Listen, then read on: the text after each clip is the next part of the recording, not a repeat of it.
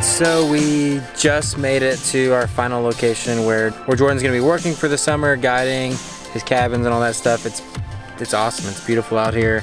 Uh, we got some beautiful Montana rolling hills, mountains in the distance, and of course you can't go wrong with some horses. So we made it. Beautiful. I'm home for six months. Woo! Excited. Anyway, we're gonna start unpacking the truck and yeah, hopefully we can try to find some time to go fishing a little bit later today.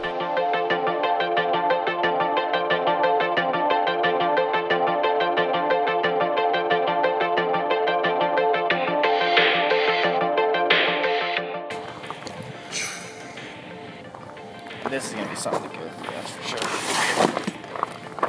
So, I don't know how I got a bullet back here.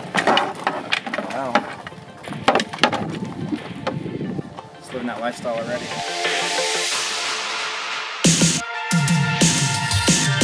Come here. Yeah.